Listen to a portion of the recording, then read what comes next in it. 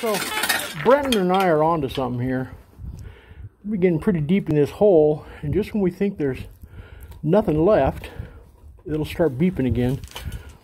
And I'll tell you, I'm not really sure. This thing's about 10 inches deep already. Let's see if any of the stuff that we pulled out has it. But the reason we're chasing it is because it was a consistent same tone. There it is.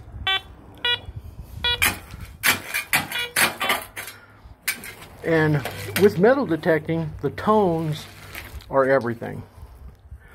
Especially if you get a consistent, same exact tone in the same area.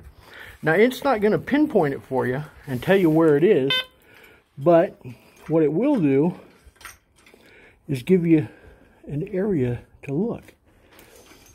And I think we lost it, brother. Might have pulled it out with something else.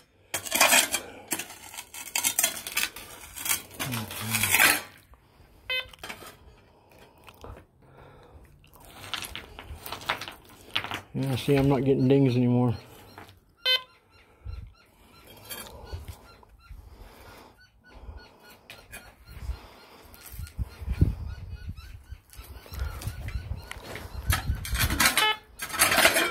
That's the shovel. Yeah, with my shovel. So here's the thing is, uh, you know, as you pulling stuff out, you might pull out whatever your treasure is that you're looking for. And if that happens, it could be up here in, in this stuff that Brenton has pulled out because I'm not hearing the consistent pings anymore at all. So what you want to do is uh, pull out a handful of what you think it might be there and put it under the coil. If it's nothing, just dirt, throw it away. Tim found a nice piece of wire. Yep.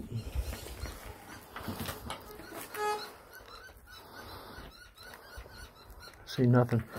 Yeah, I think we were chasing our tail there, man. Yep. Hey, let me get in there with the other one.